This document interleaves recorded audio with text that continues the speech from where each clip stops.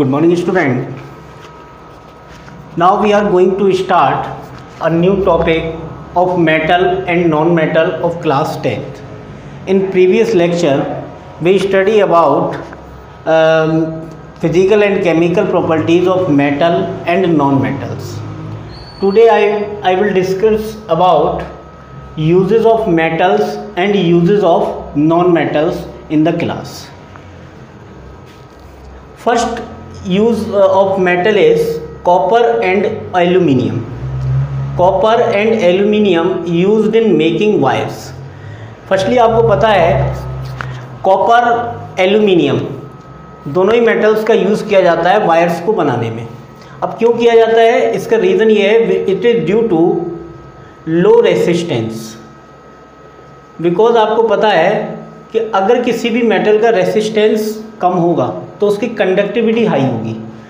तो copper aluminium दोनों ही मेटल ऐसी हैं जिनकी रेसिस्टेंस लो है और कंडक्टिविटी हाई है। इसीलिए हम इसको यूज़ करते हैं मेकिंग वायर्स में। वायर्स बनाने में इसका यूज़ करते हैं।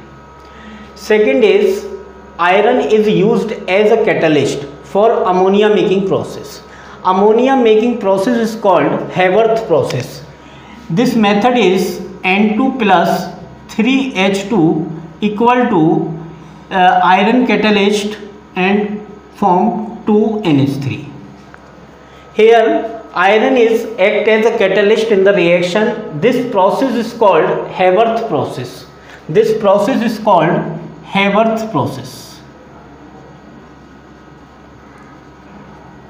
इस अमोनिया मेकिंग प्रोसेस में आयरन मेटल का यूज़ किया जाता है AITUC as a catalyst nitrogen hydrogen react with each other in one and three mole ratio and form two mole of ammonia this process is called Haber process in this process iron act as a catalyst तो iron का use यहाँ पर किया जाता है catalyst के तौर पर।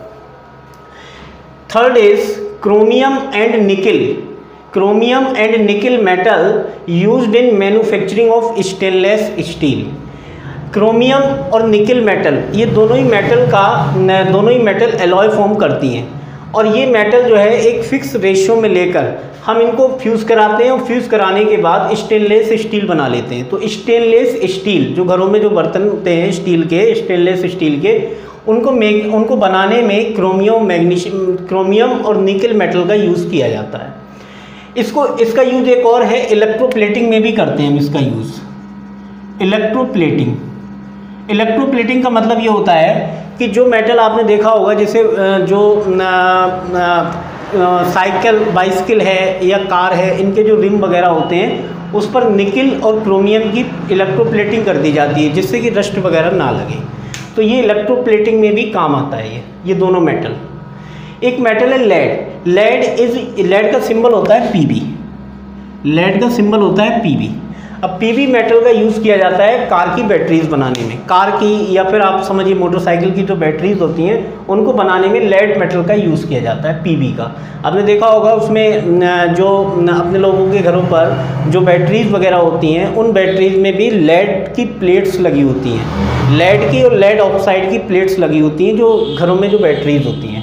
उसमें यूज़ किया जाता है बैटरीज वगैरह बनाने में लेड का। सोडियम टाइटेनियम जिरकोनियम ये थ्री मेटल्स हैं सोडियम टाइटेनियम और zirconium used in atomic energy इनका यूज़ किया जाता है एटॉमिक एनर्जी में। उसका रीज़न ये होता है कि सोडियम टाइटेनियम जर्कोनियम ये तीनों ही मेटल इलेक्ट्रॉन्स को आसानी से लूज़ कर देती हैं। अगर मेटल इलेक्ट्रॉन्स को आसानी से यूज़ कर देती हैं, और फिर दूसरी बात ये भी है कि इसका यूज़ हम कर रहे हैं न्यूक्लियर न्यूक्लियर पावर एनर्जी में। तो एटॉमिक एनर्जी में यूज़ करते हैं तो इनके जो न्यूक्लियस वगैरह होते हैं, इनके कुछ ऐसा ऐसा होता है, इनके कुछ आइसोटोप्स वगैरह बना लिए जाते हैं।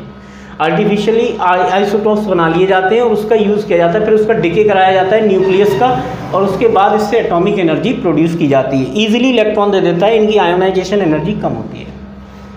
आयोनाइजेशन एनर्जी क्या होती है, वो आप इलेवेंथ क्लास में सीखेंगे, इसमें नहीं सीखेंगे। Gold and silver use in making jewellery jewellery बनाने में किया जाता है गोल्ड और सिल्वर मेटल्स का। ये तो आपको पता होगा। हालाँकि ये यूज़ कोई इतना टफ नहीं है। आपको सबको पता है कुछ कुछ यूज़ आपको पता है और कुछ आपको जो नहीं पता है, वो मैंने यहाँ मेंशन किए हुए हैं और इजीली आप इसको समझ लेंगे। मरकरी लिक्विड होती है metal use in thermometer thermometer में मरकरी मेटल होती है और उसका यूज़ किया जाता है थर्मोमीटर के अंदर। ये कुछ मैंने यूज़ किए और भी बहुत सारे यूजेज हैं मेटल्स के। वो आप उसमें देख लीजिए और भी बुक्स वगैरह में उसमें देख लीजिए। और ज़्यादा टफ नहीं है बस दो चार आप इसके यूज़ वगैरह मेटल्स के याद रखें। उसके बाद है uses of non metals hydrogen is use in making vegetable ghee. जो अपने लोग वेजिटेबल घी खाते हैं, उस घी को बनाने में हाइड्रोजन का यूज़ किया जाता है। और इसके, इस मैन्युफैक्चरिंग के प्रोसेस को बोला जाता है हाइड्रोजीनेशन हाइड्रोजीनेशन प्रोसेस बोला जाता है। अब इसमें क्या होता है? जो वेजिटेबल ऑयल होता है, जो वेजिटेबल ऑयल होता है, इसका हाइड्रोजीनेशन कराया जाता है हाइड्रोजन से। और हाइड्रोजीनेशन निकल और पेलेडियम मेटल की प्रेजेंस में करा दिया जाता है। और ये सीधा हमारा किसमें कन्वर्ट हो जाता है? वेजिटेबल घी में। वेजिटेबल घी में कन्वर्ट हो जाता है ये। तो जो भी घी वगैरह बनाने की जो फैक्ट्रीज़ होती हैं, उनमें जो वेजिटेबल ऑयल्स होता है, जैसे सनफ्लावर का ऑयल है, या और भी बहुत सारे जो ऑयल होते हैं, उनका यूज़ किया जाता है उनका हाइड्रोजीनेशन कराया जाता है इन द प्रेजेंस ऑफ़ निकल और पैलेडियम और ये अनसेचुरेटेड ऑयल होते हैं ऑयल जो होते हैं अनसेचुरेटेड हाइड्रोकार्बन्स होते हैं। तो इनका हाइड्रोजीनेशन जब हम करा देते हैं तो ये सेचुरेटेड हाइड्रोकार्बन में कन्वर्ट हो जाते हैं, और उसी को बोला जाता है घी, जो अपने लोग यूज़ करते हैं। Second property of non metal is hydrogen is use in making ammonia इसमें आप देख चुके हैं, ऊपर ये मेथड है। इसमें थ्री मोल्स ऑफ़ हाइड्रोजन का यूज़ किया है और नाइट्रोजन का भी यूज़ किया है। अब ये नाइट्रोजन और हाइड्रोजन दोनों ही क्या है? नॉन मेटल्स तो नॉन मेटल्स की यूजेस में ये भी आ जाएगा। तो hydrogen hydrogen and nitrogen is use in making for ammonia for Haber process liquid hydrogen, ये एक इंपॉर्टेंट प्रॉपर्टी है जो आपको शायद ना पता हो। लिक्विड हाइड्रोजन जो होता है, इसका यूज़ किया जाता है रॉकेट फ्यूल में। ऐसा होता है हाइड्रोजन ऑक्सीजन होता है एक सेल इसका नाम होता है वेकॉम सेल इसको बेकॉन सेल भी बोलते हैं। और इस बेकॉन सेल का यूज़ किया जाता है रॉकेट में। तो ये as a rocket fuel use किया जाता है। तो हाइड्रोजन लिक्विड हाइड्रोजन और ऑक्सीजन इन दोनों के कॉम्बिनेशन से जो एनर्जी प्रोड्यूस होती है और इसमें जो रिएक्शन होती है फाइनल रिएक्शन तो ये होती है H two plus O two equal to two H two O ये रिएक्शन होती है फाइनल रिएक्शन तो इसका यूज़ किया जाता है। इस रिएक्ट ये रिएक्शन आपको लग रहा होगा, वो वाटर का प्रोडक्शन हो रहा है बट एक्चुअली इसके साथ में बहुत सारी एनर्जी निकलती है। और इस एनर्जी का यूज़ किया जाता है as a rocket fuel rocket जो होता है स्पेस में जाता है। तो वहाँ पर जो फ्यूल होता है, वो बहुत लाइटर फ्यूल लिया जाता है। तो लाइटर के लिए हाइड्रोजन बहुत लाइटर लाइटर हमारा मॉलिक्यूल होता है, इसीलिए हम इसका यूज़ करते हैं रॉकेट फ्यूल में। और भी बहुत सारे सेल होते हैं बेकॉन सेल के अलावा। हाइड्रोजन ऑक्सीजन में हाइड्रोजन ऑक्सीजन सेल का यूज़ किया जाता है एज अ रॉकेट फ्यूल तो उसमें लिक्विड हाइड्रोजन का यूज़ किया जाता है। इंपॉर्टेंट प्रॉपर्टी है carbon is use for making electrode आपने देखा होगा बहुत सारे इलेक्ट्रोलाइसिस प्रोसेस होते हैं। उन इलेक्ट्रोलाइसिस प्रोसेस के अंदर जो अपने लोग यूज़ करते हैं ग्रेफाइट की इलेक्ट्रोड का यूज़ किया जाता है। तो ग्रेफाइट की जो इलेक्ट्रोड होती है, वो बहुत ग्रेफाइट बहुत अच्छा कंडक्टर माना जाता है। चार्ज को आसानी से कैरी कर लेता है। तो कार्बन ग्रेफाइट क्या है? कार्बन ही तो होता है। तो ग्रेफाइट कार्बन का यूज़ किया जाता है for making electrode in electrolytic cell जो इलेक्ट्रोलाइटिक सेल होते हैं, उन सेल के अंदर जो इलेक्ट्रोड का यूज़ किया जाता है, वो कार्बन का किया जाता है because carbon is a good good conductor of heat and electricity carbon नहीं मतलब graphite is a good conductor of heat and electricity क्योंकि कार्बन में तो फिर डायमंड भी आ जाएगा। और भी बहुत सारे बक मिनिस्टर फुल वगैरह, बहुत सारे हैं ऐसे। तो इसमें हम जो बात करेंगे, वो ग्रेफाइट की बात करेंगे। ग्रेफाइट जो है वो कार्बन ही होता है। Compounds of nitrogen like T N T T N P T N G ये ट्राई नाइट्रोटोलोइन है ट्राई नाइट्रोफिनॉल है और टी एन जी भी होता है ट्राई नाइट्रोग्लिसरीन इन सभी, ये सभी एक्सप्लोसिव होते हैं और इन एक्सप्लोसिव को बनाने में नाइट्रोजन का यूज़ किया जाता है। तो यहाँ पर नाइट्रोजन जो होता है वो T N T T N P T N G इनको बनाने में यूज़ किया जाता है और ये किसकी तरह यूज़ किए जाते हैं? एज अ एक्सप्लोसिव की तरह यूज़ किए जाते हैं। तो ये चीज़ आप याद रखें। टी एन टी अपने आप में एक्सप्लोसिव होता है, जो एटम बम होता है, उसमें टी एन टी की कैविटी लगाई जाती है। T N P picric acid होता है ट्राई नाइट्रोफिनॉल ये भी एक बहुत हाई फाई एक्सप्लोसिव होता है। एक और होता है T N G try nitroglycerine तो उसका यूज़ किया जाता है डायनामाइट में। तो ये एक्सप्लोसिव है और एक्सप्लोसिव को बनाने में नाइट्रोजन का यूज़ किया जाता है। सल्फ़र होता है। Sulphur is use in vulcanization of rubber actually क्या है? रबर बहुत रबर जो होता है, वो बहुत इलास्टिक की टेंडेंसी रखता है। मतलब इलास्टोमर होता है वो। तो रबर के अंदर, जो नेचुरल रबर होता है हमारा, जो आइसोप्रीन होता है, वो आइसोप्रीन को हम क्या करते हैं नेचुरल रबर को उसका वल्केनाइजेशन करा देते हैं। वल्केनाइजेशन का मतलब ये होता है कि जो नेचुरल रबर आइसोप्रीन होता है, उस आइसोप्रीन की स्ट्रक्चर में अगर आप देखेंगे, कभी आप नेट वगैरह पे स्ट्रक्चर सर्च करेंगे, नहीं तो फिर उसकी ट्वेल्थ क्लास में तो पॉलीमर में होती ही स्ट्रक्चर है। तो जब आप उसकी स्ट्रक्चर देखेंगे तो उसमें डबल बॉन्ड आता है। वो अनसेचुरेटेड हाइड्रोकार्बन होता है। तो उस अनसेचुरेटेड हाइड्रोकार्बन में जो डबल डबल बॉन्ड होता है, उस डबल बॉन्ड से हम क्या कर देते हैं? कनेक्टिविटी कर देते हैं। यानी कि हम अगर बात करें तो जो बल्कनाइजेशन का मतलब ये होता है कि जो नेचुरल रबर होता है, उस रबर को सल्फ़र के साथ मिक्स कर दिया जाता है।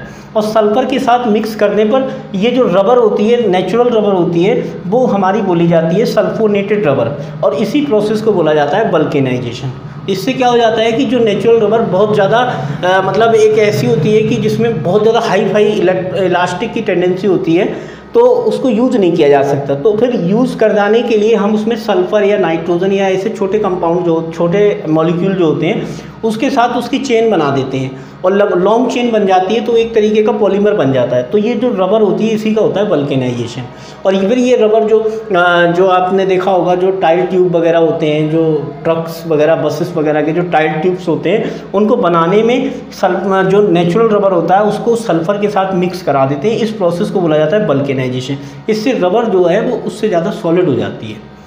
तो उसका यूज़ करते हैं अपने लोग बल्केनाइजेशन में। Making H two S O four तो हाइड्रोजन सल्फेट यानी सल्फ्यूरिक एसिड को बनाने में भी सल्फ़र का यूज़ किया जाता है। तो ये मेटल और नॉन मेटल के यूजेज़ हैं, कुछ यूजेज़ हैं, बहुत सारे यूजेज़ नहीं हैं। जो रिमेनिंग यूजेज़ वगैरह रह जाते हैं, वो आप उसे देख लीजिए, याद कर लीजिए। और ये मैंने कुछ यूजेस मैंने बता दिए आपको। अब इसके बाद देखते हैं क्या।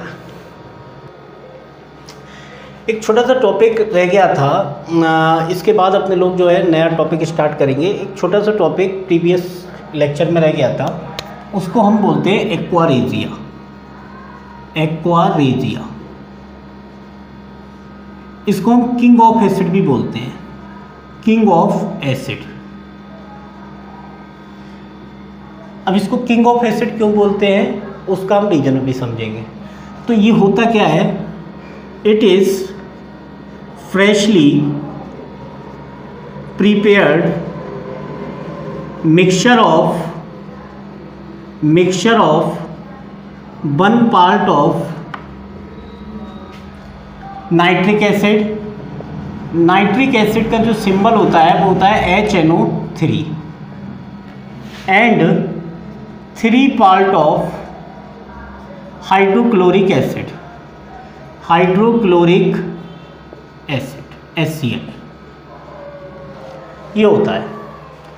यानी कि मैं क्या करने वाला हूँ कि H N O three and S C L का मैं मिक्सचर लेने वाला हूँ वन थ्री के रेशियो में। और ये फ्रेशली प्रिपेयर्ड होगा। देखिए, ऐसा होता है कि जो मोरेबल मेटल्स होती हैं, जैसे मान लीजिए मैं आपको बात करूँ, जो इनएक्टिव मेटल्स होती हैं, जो किसी के साथ रिएक्शन नहीं करती हैं, मैं उन मेटल्स की बात कर रहा हूँ, और बहुत कॉस्टली मेटल हैं। जैसे मान लीजिए गोल्ड है प्लेटिनम है, ये बहुत कॉस्टली मेटल्स होती हैं, इनकी ज्वेलरी बनाने में यूज़ किया जाता है। अब ये मेटल जो होती हैं, ये नॉर्मली अगर मैं एस में डाल दूँ तो ये डिज़ोल्व नहीं होंगी। एच एन ओ थ्री में डाल दूँ डिज़ोल्व नहीं होंगी। H two S O four में डाल दूँ, तब भी डिज़ोल्व नहीं होंगी। जबकि H two S O four मोरेबल metals को डिज़ोल्व कर लेता है। लेकिन ये डिज़ोल्व नहीं होती है उसका रीज़न है। उसका रीज़न ये होता है क्योंकि ये इनके साथ रिएक्शन करती ही नहीं है।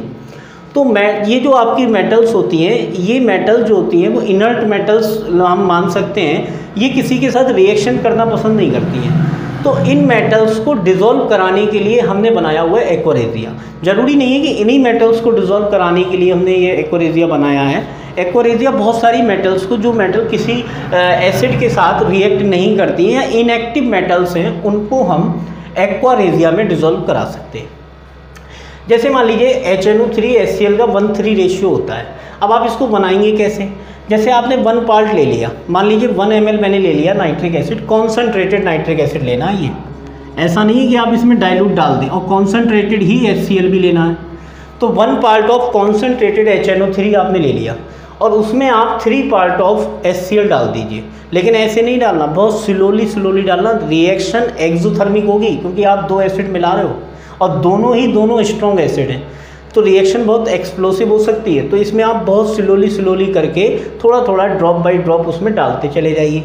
फिर जब ये आपका वन थ्री का जो रेशियो वन थ्री रेशियो में जो मिक्सचर बन जाएगा, उस मिक्सचर को बोला जाता है एक्वारेजिया अब इस एक्वारेजिया को जब भी मतलब यूज़ किया जाता है तो हमेशा इसे मतलब तुरंत बनाया जाता है। ऐसा नहीं है कि मतलब आप इसे बना बनाया यूज़ कर लें।